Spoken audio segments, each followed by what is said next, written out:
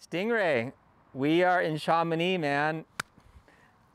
Been so nice to be here with you. And uh, I just wanted to ask you a few questions before the race. I mean, first of all, I want to say personally, I'm so excited for you this year. Um, you know, uh, been watching what you've been doing, been have seen you many times together over this last couple months. Um, I mean, you're almost you're in Europe now, almost two months. Uh, how's the preparation been feeling for you? Um, for now, I, I feel uh, getting better compared to uh, last year. I'm very confident for the finish strong.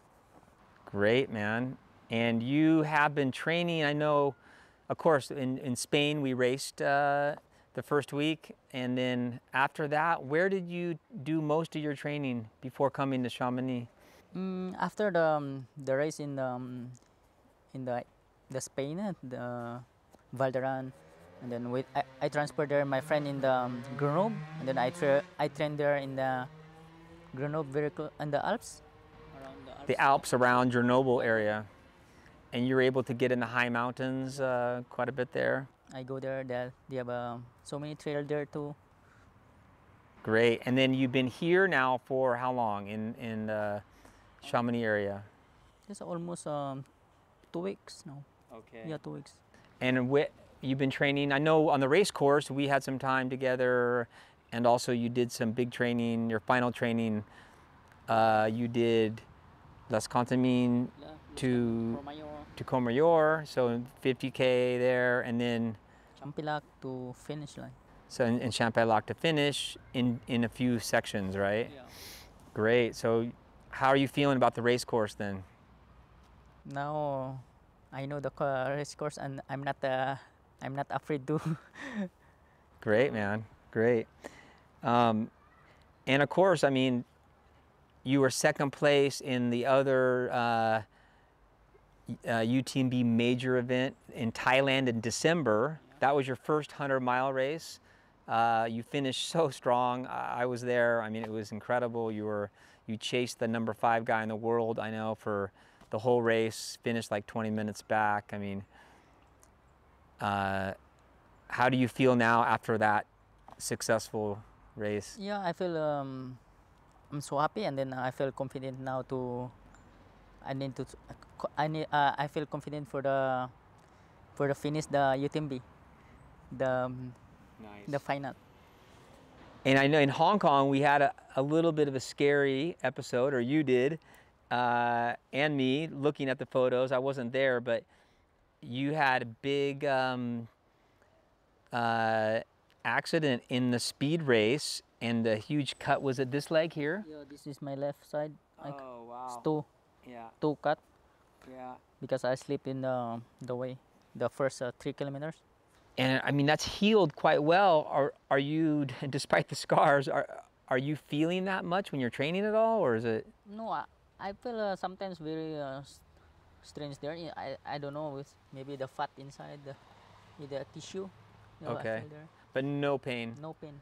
Just some sensation yeah. inside, something yeah. moving, some tissue, yeah, probably scar tissue or something, maybe. I guess.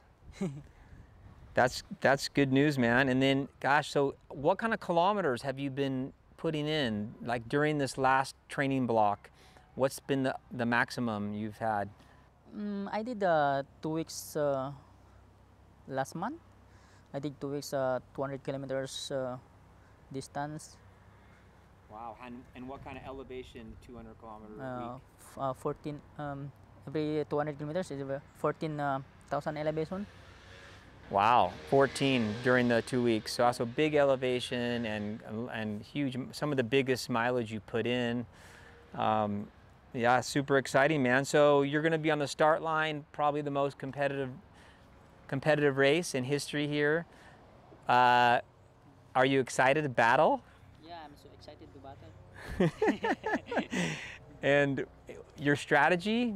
How's your strategy? What, what are you thinking going into it? Uh, my strategy is um, I don't uh, stay very far the lead pack because uh, if very far I cannot uh, catch up and then maybe and then I save the my legs uh, the last three mountain too.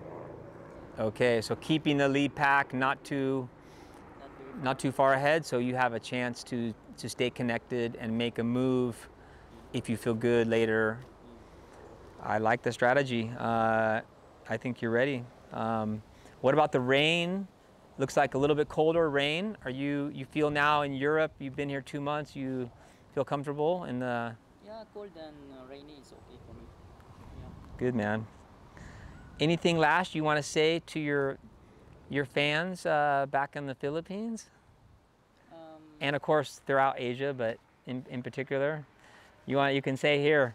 yeah, my um, I want to say first my um, my sponsor, the North Face Adventure Team, to to bring me. Um, thank you, thank you very much. And then the, in the Philippines, thank you very much for the support me. And then um, and I will try my best to finish strong this year.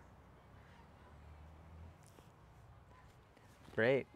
Good luck, man. Yeah, and I'm going to be actually supporting you most of this race, so I'm excited also, man. Going to be Thailand was was we work well together, so yeah, um, I can't wait.